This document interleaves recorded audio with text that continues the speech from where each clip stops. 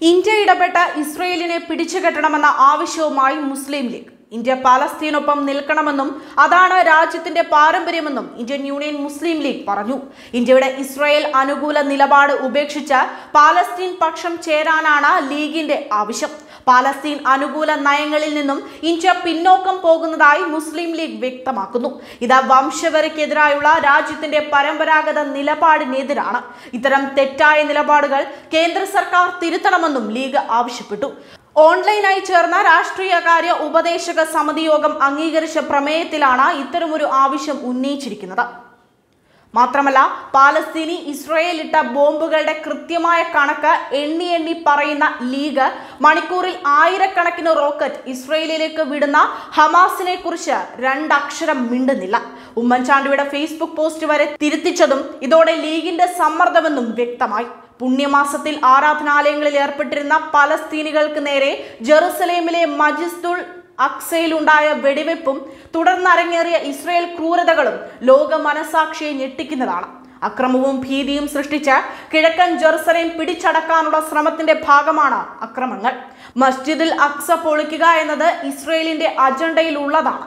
പലസ്തീനുകളുടെ ഭൂമി അവർക്ക് വിട്ടുകൊടുത്താൽ മാത്രമേ പലസ്തീനിൽ ശാശ്വത സമാധാനം ഉണ്ടാവുകയുള്ളൂ. ലോക ജനത ഇസ്രയേലിന്റെ ക്രൂരതകൾക്കെതിരെ ശബ്ദമുയർത്തണമെന്നും ലീഗ് ആവശ്യപ്പെടുകയാണ്. പലസ്തീനുകൾക്കെതിരെയുള്ള സയനിസ്റ്റ് അതിക്രമത്തിനെതിരെ നാളെ രാജ്യവ്യാപകമായി രാവിലെ പത്ത് മണിക്ക് സ്വന്തം വീടുകളിൽ പ്രതിഷേധം സംഘടിപ്പിക്കാൻ മുസ്ലിം ലീഗ് ദേശീയ നേതൃത്വം ആഹ്വാനം ചെയ്തിട്ടുണ്ട്.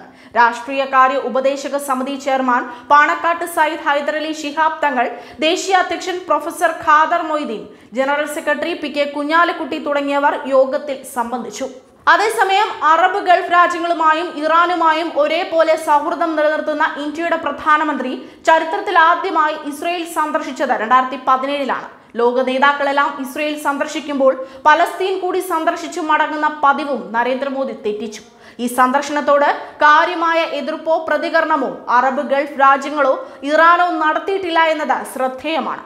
പശ്ചിമേഷ്യയിലെ ശാക്തിക രാഷ്ട്രീയം വീണ്ടും ഒരു മാറ്റത്തിന്റെ നടുവിലാണ് എന്നതാണ് ഇത് നൽകുന്ന സൂചന. ആയിരത്തി തൊള്ളായിരത്തി തൊണ്ണൂറുകളുടെ ആദ്യം ശീതയുദ്ധം അവസാനിച്ചപ്പോൾ ഇസ്രയേലുമായി ധാരണയുണ്ടാക്കാൻ പലസ്തീൻ നേതാവ് യാസർ അറഫാത്ത് തയ്യാറായതായിരുന്നു ആദ്യ മാറ്റം. അന്ന് നടത്തിയ ഇന്ത്യ സന്ദർശന വേളയിൽ അറഫാത്ത് ആണ് ഇസ്രയേലുമായി നയതന്ത്ര ബന്ധം സ്ഥാപിക്കാൻ അന്നത്തെ ഇന്ത്യൻ പ്രധാനമന്ത്രി നരസിംഹറാവുവിനോട് ആവശ്യപ്പെട്ടതെന്ന പരസ്യമായ രഹസ്യമാണ്. അന്നതിന് മുൻകൈയെടുത്തത് അമേരിക്കയിൽ ഇന്ത്യയുടെ അംബാസഡറായിരുന്ന അബീദ് ഹുസൈൻ എന്ന നയതന്ത്രജ്ഞനായിരുന്നു. ഇസ്രയേലുമായി വളരെ അടുത്ത ആയുധ ഇടപാടുകളാണ് ഇന്ത്യക്കുള്ളത്. ഇന്ത്യയുടെ സൈനികായുധങ്ങളുടെ മൂന്നാമത്തെ വലിയ സ്രോതസ് ഇസ്രായേലാണ്. ഇസ്രയേലിനാവട്ടെ അവരുടെ ഏറ്റവും വലിയ ആയുധ വിപണിയാണ് ഇന്ത്യ.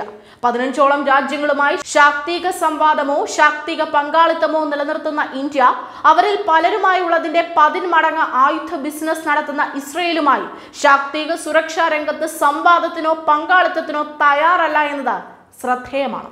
അറബ് ലീഗ് രാജ്യങ്ങളെ പിന്തുണയ്ക്കുന്നതാണ് ഇന്ത്യയുടെ നിലപാട്. സമാധാനപരമായ ചർച്ചയിലൂടെ രണ്ട് രാഷ്ട്രങ്ങൾ എന്നതാണ് പ്രശ്നത്തിനുള്ള പരിഹാരമെന്നും ഇന്ത്യ കരുതുന്നുണ്ട്.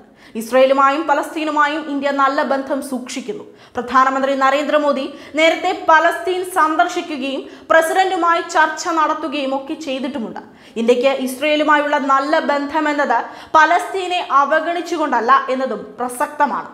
ഇസ്രയേൽ അധീന മേഖല ഉൾപ്പെടെ പലസ്തീന്റെ പല പദ്ധതികൾക്കും ഇന്ത്യ സഹായം നൽകിയിട്ടുമുണ്ട്. പലസ്തീനിൽ നിന്നുള്ള വിദ്യാർത്ഥികൾക്ക് ഇന്ത്യയിൽ പഠിക്കാനും മറ്റ് സ്കോളർഷിപ്പും നൽകുന്നുമുണ്ട്. News desk Karma news.